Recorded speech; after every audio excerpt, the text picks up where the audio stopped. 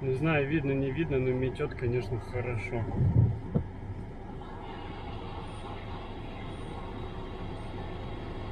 Навалило у нас снега, здесь чистишь, чистишь. Вот смотрите, сколько снега навалило. Пытаюсь расчистить машину, но это просто ужас, потому что ты его вроде бы вот чистишь, чистишь, а оно не заканчивается, не заканчивается. Ну, лучше почистить, чем потом еще сантиметров 20 выпадет и вообще сугроб будешь от, откапывать. Как-то вот так. Весело получается. Какая у нас красивая зима. Сейчас на улице минус 14. Вот у нас такие узоры на машине. Прикольно, а снег просто лежит, и так снег делаешь, и он летает, летает. Ну, красиво-то как. Но минус 14 аж. Э, машинка завелась, кстати, без проблем. Здесь солнце светит, уже тает. Ну, а дизель даже не пытался заводить. Не хочу его мучить. Поскольку здесь бензин, раз, он, она завелась без проблем.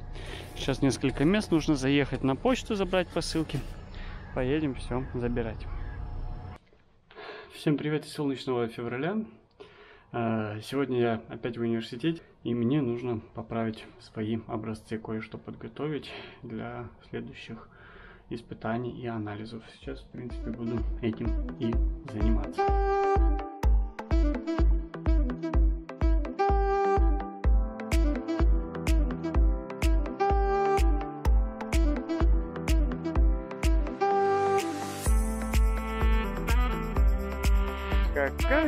Зима в этом году. Просто сказка. И морозы, и снег, и все подряд.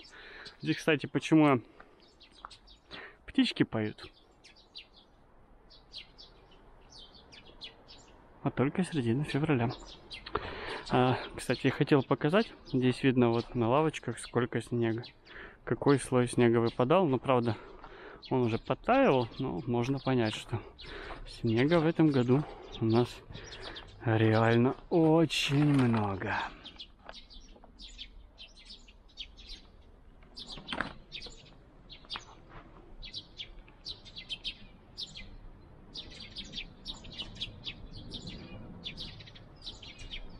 А здесь кто-то оставил вот такого прекрасного снеговичка. Прикольно.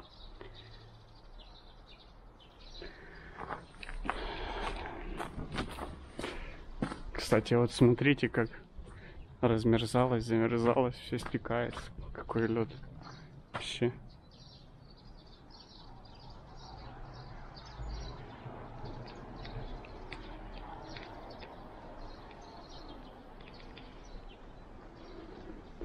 Да, зима, конечно, крутая.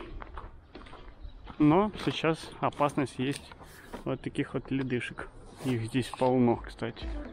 Нужно всегда смотреть сверху, что там происходит.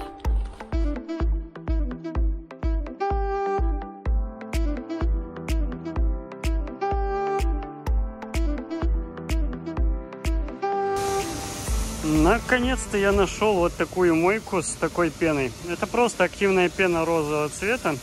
А, это при мойке, когда моешь на самообслуживании, ты этой пеной машину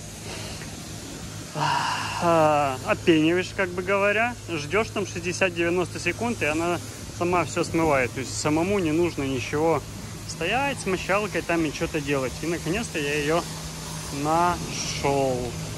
Ну, прикольно она смотрится, конечно, так несколько раз можно съездить. Стоит это удовольствие не слишком дешево, там от 5 до 10 евро, в зависимости, как быстро вы моете. Но можно съездить.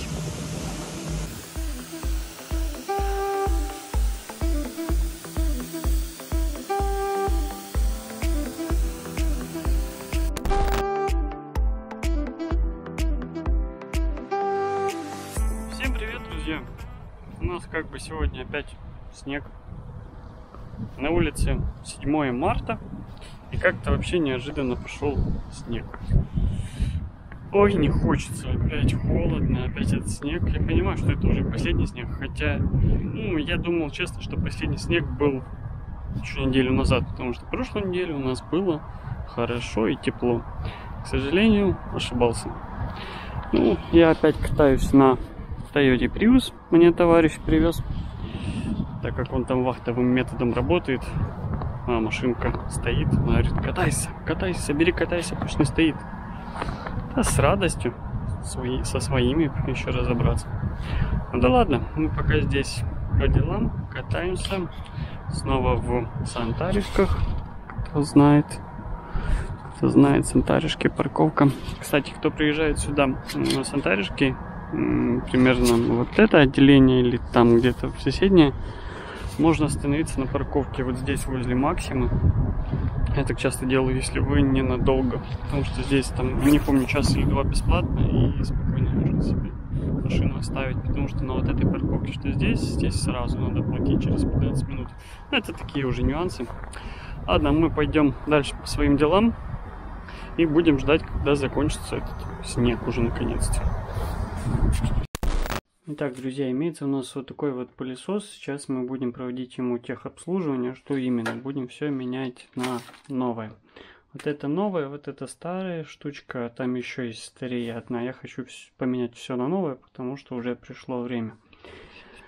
А, пылесос это самый обычный Xiaomi Mi робот вакуум называется. Извиняюсь, конечно, за качество, просто у нас 8 вечера уже. 8 ночи, я. И я так быстренько, вам рассказать, посчастливилось, в общем, купить этот пылесос по дешевке. Убирает хорошо, я им доволен, мы его запускаем 2-3 раза в неделю и четко все. Но нужно понимать, что все-таки после него нужно прибирать, потому что он не во все углы залазит и не все он убирает. Он убирает только там, где он достает, а все остальное, к сожалению, не убирает. Убирал бы все, был бы вообще золотой. А так, в принципе, за эти деньги его с головой хватает. Есть там еще моющие, не моющие, но толку от них там, я читал, особо нет. Поэтому э, есть то, что есть. Сейчас быстро все поменяю и протру все сенсоры, и будет как новенький. Всем большой привет! Сегодня очень знаменательный день, потому что я иду э, стричься. Впервые за, мне кажется, 8 лет я буду совершать э, нечто со своими волосами, потом покажу вам, что получилось. Немножко, конечно, нервничаю, потому что давно ничего не меняла, я такой очень стабильный человек в этом плане. Но э, пришло время, весна, такое настроение, хочется э, перемен, поэтому решилась. В общем, уже записалась, сейчас иду. Я вам так и не показала свою стрижку, кстати. Уже два дня прошло. А, очень здорово. Мне так нравится, как получилось. Мне сделали такой небольшой каскадик и сняли 15 сантиметров волос, может даже больше. Ну, вообще, я так рада, стало очень легко. И сейчас, почему не, не показала вам конечный результат? Потому что а, было очень много работы. Мне написали, что будет а, конференция в университете, факультетская. И для молодых ученых нужно представить результаты э, исследований, потому что это очень это необходимо и обязательно для того, чтобы э, защитить магистрскую диссертацию в Литве. И сейчас я уже отстрелялась, слушаю, как э, остальные представляют свои результаты. Я была одна на английском языке, хотя там были представлены тоже, как что литовцы обучаются на английском, но они тоже по-литовски говорили. Я сидела там, ну, понимала, но, конечно, не все. И сейчас слушаю, как, э, как остальные а, представляют результаты, и думаю, уже буду скоро отключаться, потому что всех не послушаю. Я была седьмая, всего 24 человека. Обалдеть. Сейчас покажу вам, как это все выглядит. Все в зуме, понятно. Вот. Так.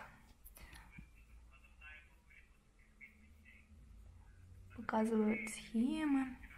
24, 28 участников.